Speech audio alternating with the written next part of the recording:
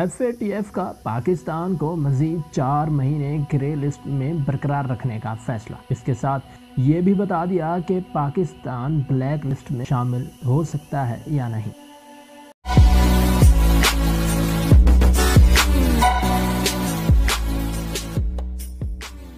अल्लाम मैं हूँ इफ्तार अहमद और हम आपको यूनिवर्स ऑफ़ रियलिटी में खुश आमदीद हैं। एफ़ ए टी एफ़ ने टेरर फिनंसिंग और मनी लॉन्ड्रिंग के खिलाफ पाकिस्तान के इकदाम पर इजहार इतमान करते हुए उसे चार महीने के लिए ग्रे लिस्ट में बरकरार रखने का फैसला किया है। इसके साथ साथ सदर एफ़ ने पाकिस्तान के फ्यूचर के बारे में बता दिया कि क्या पाकिस्तान ब्लैक लिस्ट में शामिल हो सकता है या नहीं। दुनिया भर में टेररिज्म फिनंसिंग और मनी लॉन्ड्रिंग के अमूर पर नज़र रखने वाले इदारे एफ़ यानी फिनेंशियल एक्शन टास्क फोर्स का बाईस ता पच्चीस फरवरी, इजलास मुनद इजलास में F A T F plenary में पाकिस्तान के वफद की सरबराही chairman F A T F coordination committee और विफाकी वज़ीर पराय सनत और पैदावार, मोहम्मद हमाद अजहर ने की। जबकि इजलास में पाकिस्तान की जानब से वजारत खारजा, नेक्टा एफ़ एम यू कौमी F A T F secret और दीगर अहम स्टेक होल्डर्स के सीनियर अफसरान ने शिरकत की। इजलास में अरकान ममालिक ने पाकिस्तान की तरक्की से मुतल मुतद मौजूद पर तबादला ख्याल किया। पाकिस्तान ने एफ़ ए टी एफ़ की जानब से दिए गए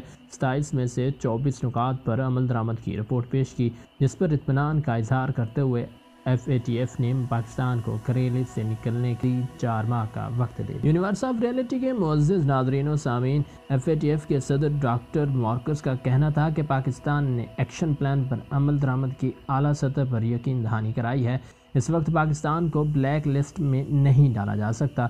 चार माह बाद पाकिस्तान की जानब से एक्शन प्लान पर अमल दरामद की तस्दीक करेंगे। देखेंगे कि पाकिस्तान की जानब से एक्शन प्लान पर अमल दरामद कितना पायदार है। लेकिन पाकिस्तान को ब्लैक लिस्ट में नहीं डाला जा सकता।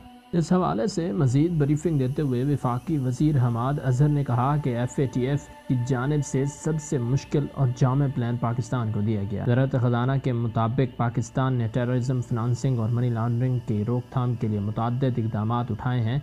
और बहुत सी खामियाँ भी दूर की हैं। एफ़ ए टी एफ़ ने टेररिज्म फिनंसिंग की रोकथाम के लिए पाकिस्तान के सियासी अज़म को भी सराहा। इलामिया के मुताबिक पाकिस्तान ने ग्रे लिस्ट से निकलने के लिए एफ़ ए टी एफ़ के सताईस में से चौबीस नुकात पर अमल दरामद किया। पाकिस्तान की जानब से एक्शन प्लान पर अमल दरामद के जवाब में एफ़ ए टी एफ़ ने इस अमल को सराहा है और ग्रे लिस्ट से निकलने के लिए बकिया तीन नुकात पर अमल दरामद के लिए जून तक का वक्त दे दिया है। पाकिस्तान ग्रे लिस्ट से निकल पाएगा, इस हवाले से अपनी राय का इजहार करने, कॉमेंट कर दें और उसके साथ साथ अगर आपको ये वीडियो अच्छी लगी है तो वीडियो को लाइक कर और अगर जो दोस्त हमारे साथ नए शामिल हुए हैं, उनसे दरख्वास्त है कि हमारे चैनल को सब्सक्राइब करें, ताकि हमारी हर आने वाली नई वीडियो आपको अल्लाह ताला पाकिस्तान को दिन दुगनी और रात दुगनी की अता फरमाए। आमीन। तुम